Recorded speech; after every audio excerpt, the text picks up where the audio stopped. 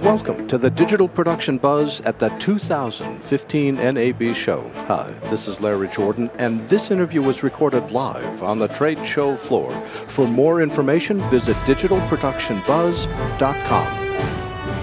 If you've been participating in video for even a short amount of time, you've heard about JVC. You know that JVC makes a range of cameras, but you may not understand exactly everything that JVC is doing, and that's where our next guest has such an important role to play. His name is Dave Walton. He's the Assistant Vice President for Marketing Communications, and I think this is about the sixth year you've been on the show, and it's fun every time you're on. Thanks for coming back. Well, this is year number 35 for me coming here to NAB, so ah. It's, uh, it's, a, it's always a pleasure. It's the third day of the show, so it's a time to just relax a little bit, and that's a good thing because we're we're constantly hyped and we have so much going on in the booth that uh, it's hard to ever get a moment to just sit down and take a breath. There's no relaxation at NAB. It's really a par- it's really when exhaustion kicks in, and you've moved from from adrenaline to exhaustion. You hit that wall. It's about day three when that kicks in, and then you stop caring. I think is the real point. It's, no, we care. we care. We're we're already planning for the next year's uh, NAB. I do believe that. Help me understand the buzz at the show these days is going to companies like AJA and Blackmagic Design with, with their new cameras. And how does a, a company like JVC position themselves against the newcomers? Why should people even consider JVC products? Well, uh, traditional camera manufacturers have been in business for a long time, and I think it's important to understand some of the things that are behind the cameras. There's really, in this day and age, there are some fundamental technologies that go into building a camera that if you have the infrastructure and the knowledge to do it, you can build a camera. Uh, for example, the design of the imager chips. A lot of people buy those from some third party company. JVC actually designs and builds the imagers themselves. The, in this particular camera, the brand new uh, GY LS300 has a super 35 millimeter sensor, and that was actually designed and built by JVC. The other big part of the camera is the image processor. Uh, a lot of people don't realize what goes into processing the image in a camera. You think, now well, here you're not talking the sensor you're talking the software behind the sensor. The software behind the sensor, because there's a lot of data that has to be processed in order to be able to record an image. And that's a very expensive proposition. You don't just design one, build it for one camera, and then go on and design another one. It costs millions and millions of dollars to design that IC that processes that. So you have to plan to amortize that over many cameras over a long period of time. So, I mean, we have a broad camera line. We use the same processor in many cameras, and uh, we have many, many decades of experience in building the video cameras. Okay, but let me ask a negative side to that. If the if the IC, if that software which is processing the images needs to be amortized over a long period of time, that makes it really hard to respond to new technology because you're locked into this old coding technology. If how does JVC respond to industry change? Well, that's the key in building those processors. First of all, our designers are very well aware of future trends. You build processing capabilities into those processors that allow for those changes. And uh, it also gives you the opportunity not only to build a broader line of cameras, you know, it's not like we're building one camera for one application. We're building cameras that are used in television station studios, for electronic news gathering, uh, all the way down to the consumer level. They build uh, digital processors that can handle the amount of data.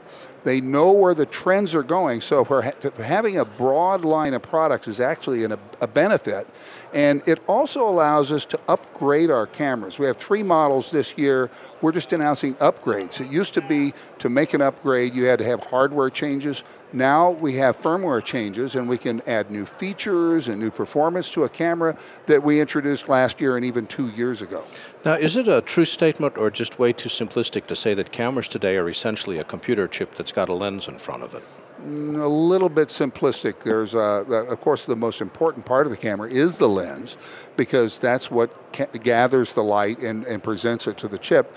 But the imager chip is very important, and the processing, and then how you store that. What trade offs do you make? And there's a lot of trade offs that have to be made. Uh, a, a 4K image, uncompressed, is around 12 gigabits per second. Now, that's a lot of data. You're not going to stream 12 gigabits per second. Not for or long. Or 6 gigabits per second, or 3 gigabits per second. So you've got to make some changes, or the people that are watching this show would not be able to see us. So, thinking of that, what are some of the new things that JVC has come up with this year? We introduced a new line of products called 4K Cam. I'm going to hold it here so we can get a close up of okay. it. Okay. And the 4K Cam series is a new series that offers the ability, obviously, to shoot in 4K, but also to provide very good high quality HD as well. And uh, this particular model, the GYLS 300, as I mentioned, has a Super 35 image sensor. It uses interchangeable lenses. Large imagers are preferred by people that are doing cinematography type work.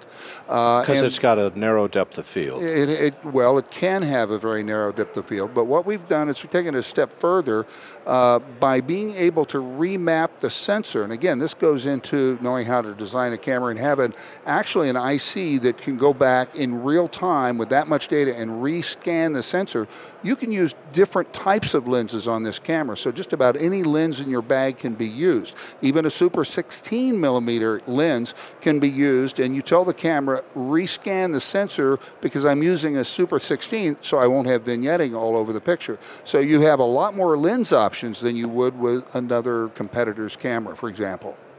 So, what is uh, the big challenge we've got is we take all this 12 gigabits a second of data and boil it down is the codec that we're using, what format we're recording.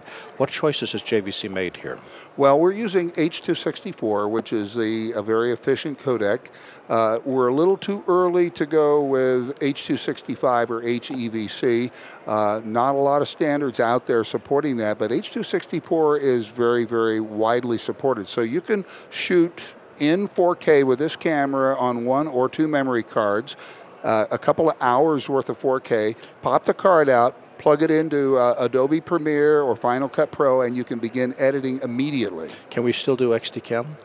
Uh, XDCam is actually MPEG 2. We have a Pro HD line of cameras that can do MPEG 2, but we didn't put MPEG 2 into these cameras. So H264 better for high resolution images? H264 is about twice as efficient as MPEG 2. And for people that want to learn more, what website can they go visit? Go, come to uh, pro.jvc.com or you can go to jvc.com slash 4K. That's the easiest one to remember. And, and you'll learn all about these. That's pro.jvc.com. Dave Walton, Assistant VP Marketing Communications. Dave, thank you very much. Always a pleasure, Larry.